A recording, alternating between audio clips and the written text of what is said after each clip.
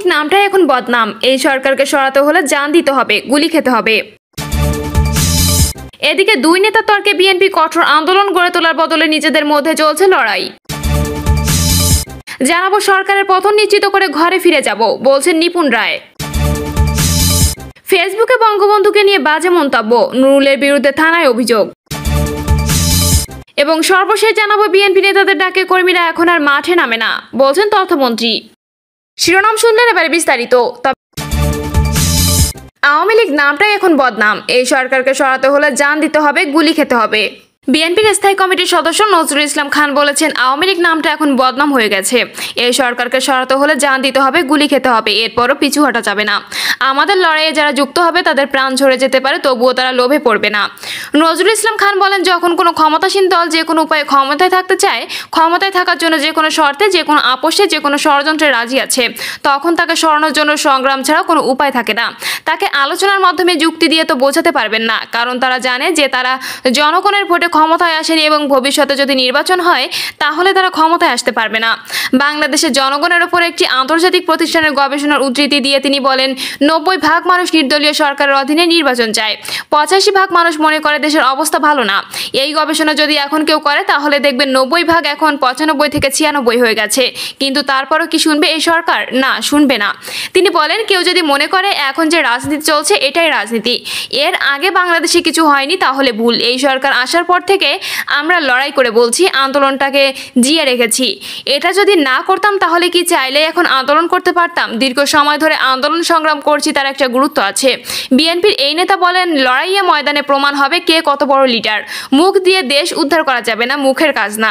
প্রয়োজনে জান দিতে হবে, গুলি খেতে হবে, মার খেতে হবে। আমাদের অনেক নেতা নিহত হয়েছেন, খুন হয়েছেন, গুম হয়েছেন। কিন্তু তারা আন্দোলনের মাঠে ছিলেন। সবাইকে নিয়ে আন্দোলন করতে হবে বলেও জানান তিনি। অনেক বলে আমরা ঘরের মধ্যে মিটিং করি। আমাদের ঘরে মিটিং করা দোষ। আমরা না হয় ঘরে মিটিং করি, আপনাদের বাইরে যেতে নিষেধ করেছে কে? আপনারা কিছু করবেন না, অন্যরা কিছু করলে তাদের সমালোচনা করবেন। সমালোচনার অধিকার আছে আপনাদের? বিএনপি নেতাদের পদত্যাগ করা উচিত। আওয়ামী লীগের সাধারণ সম্পাদক ওবায়দুল কাদের এমন মন্তব্যের জবাবে তিনি বলেন, আপনারা একুশ বছর ক্ষমতার বাইরে ছিলেন, পদত্যাগ করেছিলেন।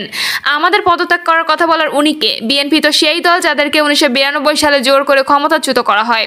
আন্দোলন সংগ্রাম করে উনিশশো একানব্বই সালে ক্ষমতায় আসে এটা ইতিহাস।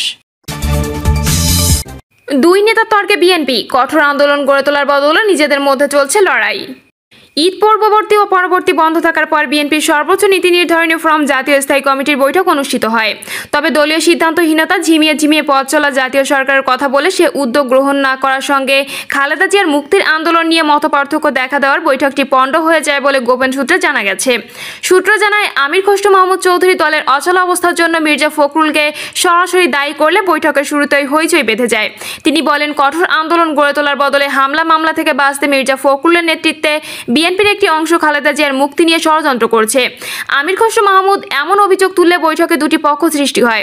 এ সময় দলকে ইচ্ছাকৃতভাবে দুর্বল করে রাখা, নেতৃত্ব ছাড়তে অনীহা প্রকাশ, বিএনপিকে ধ্বংসের পায়তারা করা হচ্ছে বলে আমির খসরু অভিযোগ করলে পরিস্থিতি আরও বিগড়ে যায়। প্রত্যুত্তরে আমির খসরুকে বিভক্তি সৃষ্টিকারী হিসেবে দাবি করেন মির্জা ফখরুল। দলের সিনিয়র নেতাদের এমন কর্মকাণ্ড দেখে এ সময় স্কাইপে নিরাপত্তা পালন করেন তারেক রহমান। অনেকটা হতবাক হয়ে দলে দুর্দশা অনুমান করে অভিমান নিয়েই তারেক চুপচাপ থাকেন বলে সূত্রটি নিশ্চিত করে। বিএনপির এমন বিভক্তি এবং দোষারোপের রাজনীতিতে হতাশা প্রকাশ করে মির্জা ফখরুল ও আমির খসরুকে চুপ করিয়ে দেন তারেক। এ সময় তারেক বলেন, আপনারা একে অপরকে দোষারোপ করে বিগত পনেরো বছর পুরোটা সময় ব্যয় করলেন। আপনারা পদ আঁকড়ে ধরে রাখতে বিএনপিকে রাজনৈতিকভাবে চাপে রেখেছেন। ঘরের শত্রু বিভীষণ, এর মতো অবস্থা তৈরি হয়েছে। এখন মনে হচ্ছে যে খালেদা জিয়ার জন্য কেউ বিএনপি করে না, সবাই পদ ও ক্ষমতা প্রয়োগের রাজনীতিতে বিশ্বাসী। আগামীতে সুসংগঠিত ও ঐক্যবদ্ধ হয়ে বৈঠক আয়োজন করে তাকে অনলাইনে যুক্ত করার আহ্বান জানিয়ে লাইন কেটে দেন তারেক। বৈঠকে বিশৃঙ্খলার বিষয়ে জানতে চাইলে নাম প্রকাশে অনিচ্ছুক বিএনপির স্থায়ী কমিটির এক নেতা বলেন, নির্ধারিত কোনো ইস্যুতে আলোচনা হয়নি। এজেন্ডার বাইরে আলোচনা হওয়ার কিছুটা মত পার্থক্য দেখা দিয়েছিল। আসলে বর্তমান পরিস্থিতির কারণে বৈঠকে বিশৃঙ্খলা সৃষ্টি হয়। অবিশ্বাসের রাজনৈতিক পরিমণ্ডলে কেউ কাউকে বিশ্বাস না করতে পারায় এমনটা হয়েছে। সরকারের পতন নিশ্চিত করে ঘরে ফিরে যাব, বলছেন নিপুণ রায়।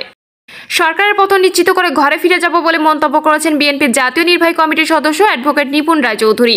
নেতাকর্মীদের আন্দোলনে জোরদার করতে নিপুণ প্রেস ক্লাবে জোরালো বক্তব্য প্রদান করেন। তিনি তার বক্তব্যে সরকারের সমালোচনা করে বলেন, এই ফ্যাসিবাদী সরকার সন্ত্রাসের মদতদাতা। বিএনপি নেতাকর্মীদের ওপর দফায় দফায় হামলা করে তার প্রমাণ দিয়েছে। আমরা সরকারকে জানিয়ে দিতে চাই, হামলার জবাব আর বসে থাকা নয়। হামলার জবাব এখন পাল্টা প্রতিরোধ। সরকারের পতনের হুঙ্কার দিয়ে তিনি বলেন, এই সরকার অনেক দুর্নীতি অনিয়ম করেছে। এখন আর কোনো সুযোগ দেওয়া হবে না, আমরা এই সরকারের পতন নিশ্চিত করে ঘরে ফিরে যাব।